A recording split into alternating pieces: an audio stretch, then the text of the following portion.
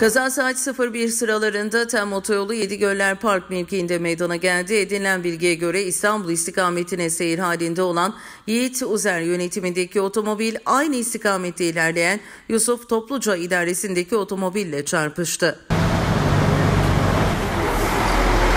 Çarpışmanın etkisiyle Topluca'nın kullandığı otomobil bariyerleri parçalayarak karşı şeride geçti.